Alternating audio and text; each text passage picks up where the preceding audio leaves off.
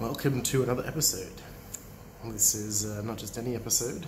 It's uh, I'm gonna do something a little bit different here, and hopefully it works. I haven't tested it. I haven't tried to do it. I've literally just walked from the club where I learned this, and uh, I'm trying to bestow my best wisdom.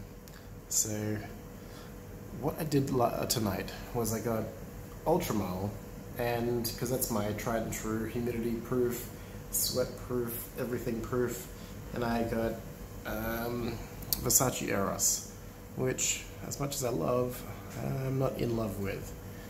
So I obviously used a little bit more um, JPG Ultra Male, but I had a chance to spray um, Versace Eros as well.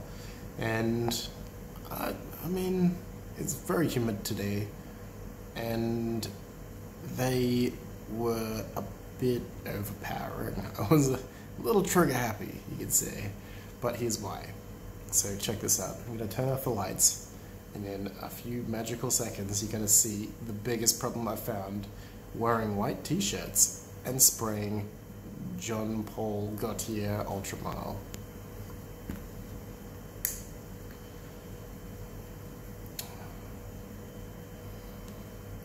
Okay, if we look here, that's from the Ultra Male.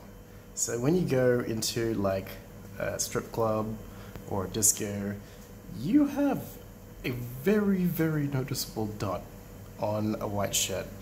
So what I did, ooh. So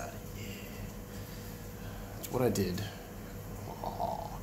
to um, just make it a split test day because it was a write-off. It's some public holiday and they're not selling beer as often as they normally do. Sprayed the other shirt with uh, Versace Eros to see if it did the same thing. And let's have a look.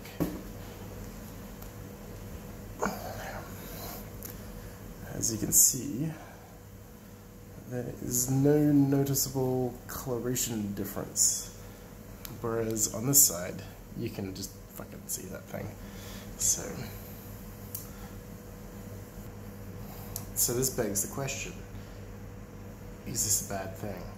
No. First of all, one, you, isn't it true just to, you know, it's his ass. Let's turn him around. So, one, you don't wear white shirts all the time. Just be aware you can do a few things. A, spray your skin. B, spray further away. Um, well, that's basically it. Then, is it is it worth it though? It's good, Peters. Is it worth uh, switching from Ultra Male to uh, Versace Eros? No, I still like Ultra Male a lot better. Um, I mean, smell on this is great, but it doesn't. It's not as mass appealing, I would say, in Thailand at least. People will actively not like Eros, but almost nobody, apart from men, which frankly is a great thing because I don't want them hanging around smelling me. Um, people love, or girls love, Ultra Male.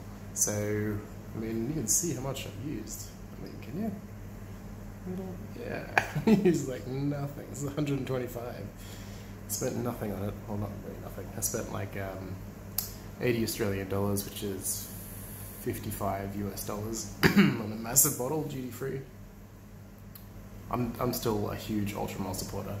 So, if you've got a choice and you're wearing a white shirt, unless you want to get stains that show up basically only because look this is not UV light you can't see it. But if you're going in under UV light mm, it's something to be very very aware of. Until next time